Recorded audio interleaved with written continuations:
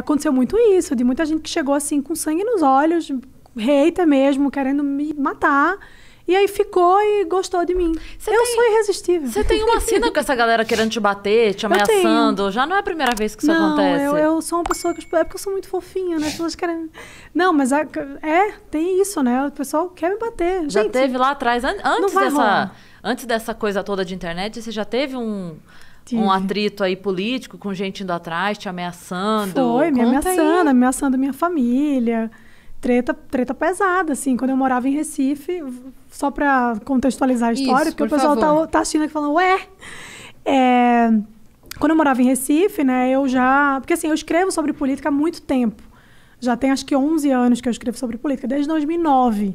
Eu tava na escola ainda, de ensino médio. Uhum. É, depois a gente vai voltar nisso daí. Como que você se interessou Pois por é. temas que todo mundo foge? Aham. Mas- E aí eu já escrevia sobre política naquela época. Enfim, 2014, quando rolou aquela eleição que polarizou o Brasil definitivamente, né, da, da Dilma com o Aécio, é, eu fiz a cagada de votar no Aécio. Desculpa, gente, me perdoa, Brasil.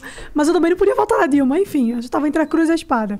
Não que tenha melhorado muito não desde mudou. então. É, enfim. Estamos num, contan- Estamos, num constante é. cruz, Cruz e e espada. espada. Estamos, eternamente. Mas aí o que que acontece? Eu, enfim, por Quando- razões... O brasileiro gosta de votar errado e se arrepender. Agora foi a Carla Dias.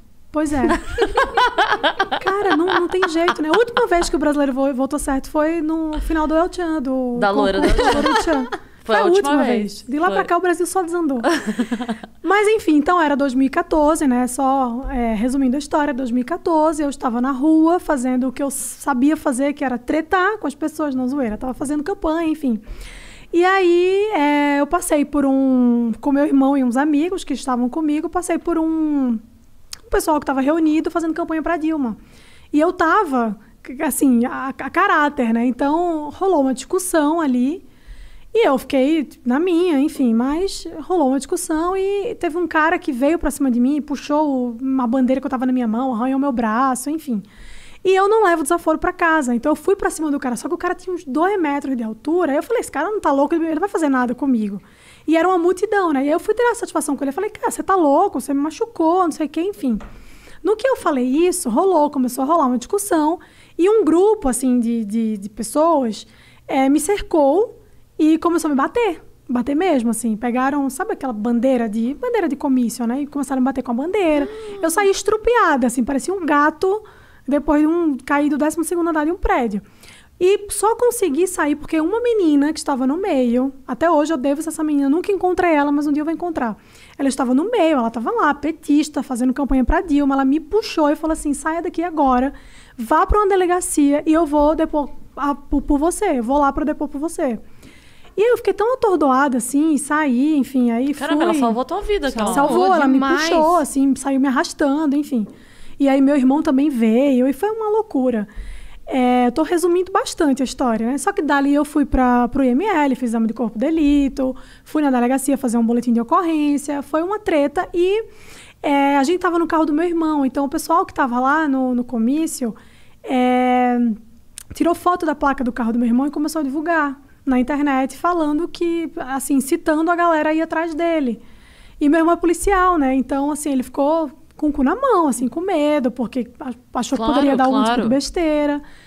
E recebendo ameaça, ameaçando minha família, nós vamos encontrar você. Meu irmão ficou, assim, acho que uns 15 dias indo para a delegacia de ônibus, porque ele estava com medo de sair com o carro. Você pega de surpresa. Então foi bem complicado, assim, foi uma situação bem chata, mas que passou, E né? o que, que deu? Você fez o BO? Fiz o BO e, como tudo aqui no Brasil, não deu em nada. Uhum. A gente até acabou achando, assim, porque a gente conseguiu recuperar as imagens das câmeras de segurança, do, do semáforo, enfim. Conseguiu encontrar algumas pessoas, a gente fez uma, prestou uma queixa-crime depois, mas acabou que não deu em nada, assim, no final das contas, não deu em nada. E da, da outra vez, assim, eu já me meti em muita treta. Teve uma outra que foi no Twitter, né? Não sei se você lembra que foi na época do impeachment da Dilma, eu fiz uma piada, gente. Eu tinha um perfil chamado Socialite Morena no Twitter, que era uma, uma sátira à socialista morena, que é a Sinara Menezes. Eu fiz um perfil de sátira e as pessoas levavam a sério o que eu publicava. Minha bio no Twitter era ex-BBB, Miss Brasil 2010 E várias outras coisas que, obviamente, eu não era. Mas o pessoal levou a sério. Então, eu fiz uma piada lá na época do impeachment, que eu falei assim, ah, se vocês forem pra rua, porque tava aquela onda de, ah, é porque o pessoal vai protestar e ganha pão com mortadela. Falei, bom, se vocês forem protestar pra Dilma sair, eu pago 10 reais pra cada um. E falaram, nossa, olha só, de onde é que vem esse dinheiro? De onde ela tá tirando esse dinheiro? Gente, eu não tenho onde cair morta. Não tem dinheiro nenhum, era uma piada. E aí caiu, assim, e eu fui parar no Brasil 247. Até Meu hoje Deus. tem. Até hoje, você entra lá, eu vou mandar o link pra vocês. Até hoje tem lá a matéria deles me difamando, me acusando de querer dar um golpe de Estado. Aí, assim, foi um buruçu no Twitter. A cara da Cris é ótima. Não, eu tô amando, eu não sabia disso. não. Você não lembra essa história? O Danilo Gentili saiu em minha defesa na época. Foi uma loucura, assim. A galera... é, na época, o Twitter era um, era um negócio mais civilizado, assim, Sim, né? Então, um pouco mais. era um pouco mais, não muito. mas Nunca um foi pouco mais. muito, Nunca mas- foi. Sempre Não Era foi, mais